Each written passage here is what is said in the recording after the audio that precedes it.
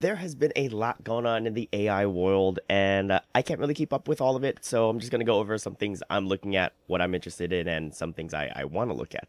So, first things first, um, Audiobook Maker. This is my program that I'm creating, um, and you can use this to basically read out any audiobook to you uh, with these AI voices. And if you want to keep up to date with what I'm working on, I have a change log where you can read all of the changes I'm doing, um, features I'm adding, so on and so forth. I recently added a find and replace feature that allows you to look for words to replace in a text file that you update. But yeah, if you want to keep up to date, you can check this out here. Don't want to make my channel just audiobook maker, and so we're just gonna quickly skip through that. Now, some other things that I've been working on is training GPT SoVITS um, and just training some voice models. I've kind of fallen behind on training as many models as I, as I want, but I'm getting back into the swing of things here. Um, but one thing I was running into is like accuracy of transcriptions with words from like podcasts or speeches uh, because when we're speaking you have um, disfluencies like um like ums and uh, and things like that where it's not completely fluid speech. So thought i would share this with you guys in case um, any of you all might find this interesting. So i've got this little WhisperX audio demo here and i'm going to record some audio with disfluencies so here we go. Hey like um yeah that was like a, a great thing and uh we're gonna be done with that. So stop that recording there and what I'm going to do is I'm going to transcribe it without this initial prompt. So we're going to run that. Now, I had known that you can prompt whisper, but I didn't know you could do it for um, improving the output. I thought you had to fine tune the model instead. Um, but that doesn't seem to be the case. So once this finishes, um, we'll take a look. And this actually looks pretty good. Uh, let's take a listen to the audio real quick hey, like, um, yeah, that was like a, a great thing, and uh, we're gonna be done with that. Okay, so that was quite correct, but that's not, not normally how the output comes out. So, okay, so I recorded a different sample so that uh, we could see kind of what's happening here. All right, so here we go. We've got the sample. Here's the audio that I recorded yeah, so that's how we're going to um, do it, and that's going to be pretty much it. So see you guys later. So as you can tell, it's missing the quick little um that I have in there, the disfluency. So we're gonna now use initial prompt, transcribe, and now you can see it includes that. So let's take a listen with this new transcription. Yeah, so that's how we're going to um, do it, and that's going to be pretty much it. So see you guys later. All right, and so as you can tell, it has that um in there with these ellipses, and that allows me to create data uh, data sets that are more accurate to speech. Because what ends up happening is if you don't have these disfluencies inside of your training data, what's going to happen is if you have these text audio pairs, it's not going to know uh, what exactly the audio is associated with at these areas where it's like um so you're going to have a uh, lower quality data set. So this is necessary for that. So I thought this was very interesting. You can prompt it to do other things such as um, capitalize certain words and all of that stuff. So if any of you guys find that interesting, you can read more up on it right here with this OpenAI cookbook where they go through some of the uh, the kind of the concepts behind it. And yeah, so that's Whisper. So finding new things about Whisper is always fun. And then, yeah, like I said, training GPT SoVITS right now just to see how um, how good the models are. I'm particularly interested in GPT SoVITS. I really like the outputs from GPT SoVITS. Um, it's fast and it sounds pretty good.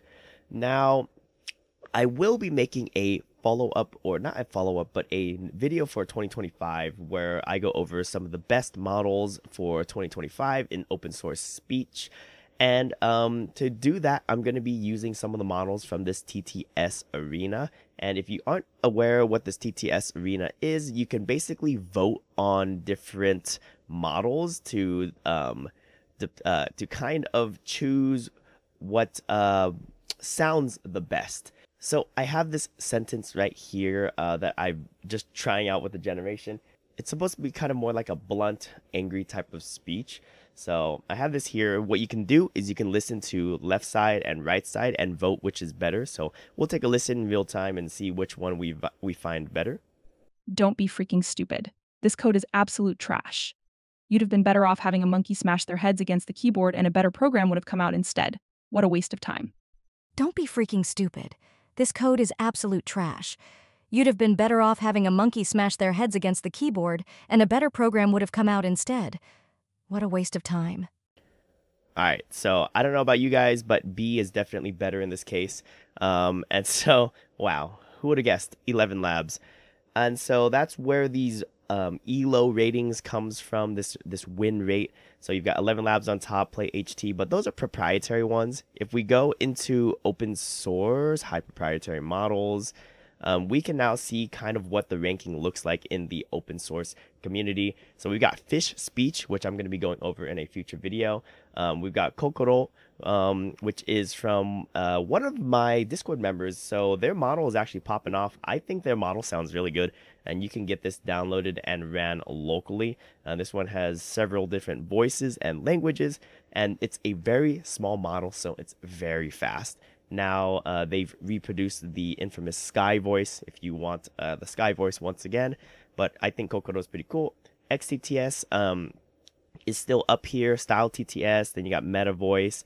So those are your top five in the TTS arena.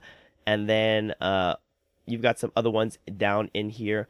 I personally think Parler TTS, some samples I've heard from Parler TTS uh, should put it at the top in terms of the the upper bounds of what type of uh, speech a language model can generate. However, it's just very hard. One of my Discord members has shown some pretty interesting examples with Parler TTS. Um, I haven't particularly gotten this one fully trained yet. I was trying to uh, do that this week, but but didn't have enough time to, to go through it as I think I have to do it in WSL2. And we've got Fish Speech down here. And the GPT SoVITS is like ranked number 15, but I really like it, so I'm just kind of biased there. And then all these other ones, um, you know, I haven't really looked at several of these.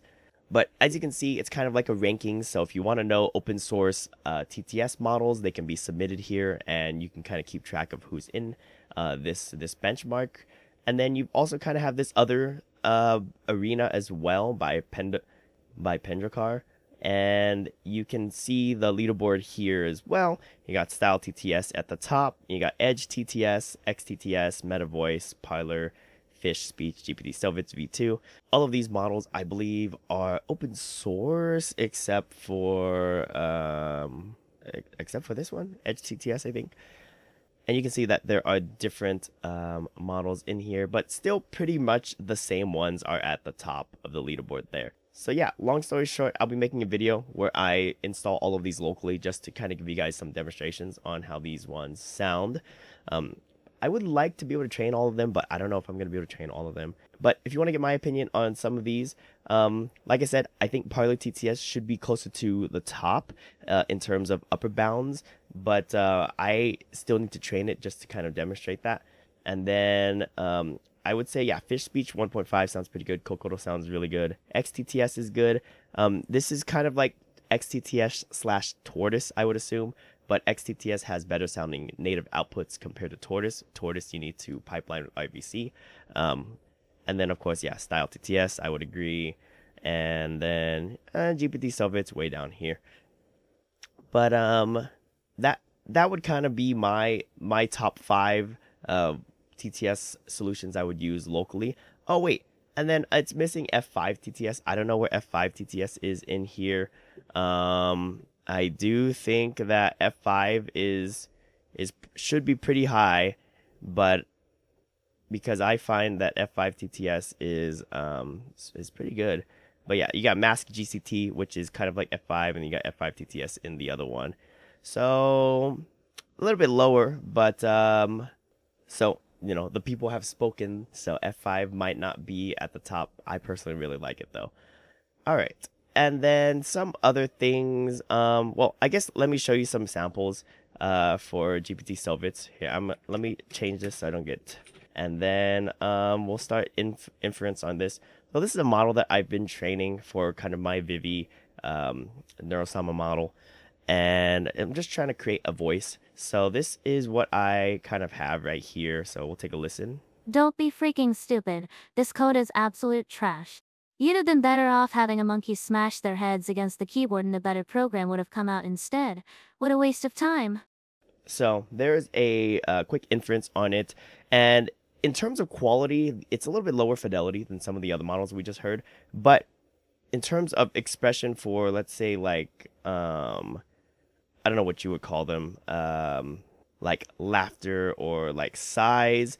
it gets those decently well. So um, this reference audio right here is actually AI generated from the own from its own model, and so we can take a listen to this reference audio sample here. Finally done. I can say that was perhaps the most interesting event I saw that night, but that one was great too. So that is a reference audio that I generated with uh, the model, and I'm using it as the reference speech. So we can say some, we can do something like ha ha ha ha. and then now it'll add laughter in the beginning. So let's see here. Don't be freaking stupid. This code is absolute trash. You'd have been better off having a monkey smash their heads against the keyboard and a better program would have come out instead. What a waste of time. So there you go. You got a little bit of laughter in the beginning there. So just working currently on trying to craft a, a voice model that might fit uh, kind of how the you know you know VTuber should sound, and and I'll see how far I can get along in here. But um yeah, working with GPT SoVITS right now. And then just some other things. Um, like I said, I used GPT, uh, Chat GPT, to just create that GUI real quick for a whisper demonstration. Um, some other things that are interesting, very interesting. DeepSeek R1 uh, was released. I know some videos have been coming out about it. Uh, lots of Reddit posts, lots of people in the AI community talking about DeepSeek R1, which is a competitor to ChatGPT or, or OpenAI's O1 model. And I'm very excited to see that local models are starting to get closer and closer to the proprietary O1 uh, closed source models. So as you can see in the benchmarks here in the charts, we've got DeepSeek R1 basically coming out ahead over O1 in, in several of these um, benchmarks. And I have yet to try this myself, so I want to see how well it does on some of the coding um, stuff that I needed to. And I'd love to switch to a local so, uh, to a local model eventually. Now I believe they they uh, open source like a 600 billion parameter model. Yeah, 685 billion parameter. That is huge. I, I, you would need a lot of uh, GPUs for that to fit on, but they also have like other ones. Um, like I think they have a 30 billion parameter one, a 7 billion parameter one. Uh, I'll have to take a look, but we'll get this one up and running sometime in the future, just to kind of check it out and see um, see how that works. So excited to see that. And then um, and then some other things I've been looking at. So one thing is uh, Cosmos, which is from NVIDIA, which is a world model for um, physical AI. So they want to build, they want to make it easier for the people that are training physical AI to build data sets to train their models on. They want to make that easier for developers. So for you and I who aren't training robots, it might not be as useful, but you can also still use this for just text to video or image to video. And it does pretty well for that. So um, yeah, I was testing it out. I'll have a full video coming out on NVIDIA Cosmos. So uh, we'll be taking a look at that in the future. But yeah, you've got like examples like this. You got like a robot walking through a warehouse. Um, they've got a bunch of other cool, interesting examples you can see on their uh, GPU free preview. So this is kind of like their NIMS slash uh, blueprints page. So you can take a look at them here for free online. Um, and so yeah, I was looking at Cosmos, and then I was looking at Tencent's Hunyuan video. Uh, because this one is also another video inference model that you can run locally. And this one allows you to create text to video. So I've seen some pretty interesting things come out of uh, this one, and um, it looks very fantastic. Like the local models are starting to catch up, or are already at the level of like Sora. And so I find that is crazy. We are now running these things locally. They do take a lot of time to run. I um I in my experience with Nvidia Cosmos takes uh, anywhere between 5 to 20 minutes for a generation.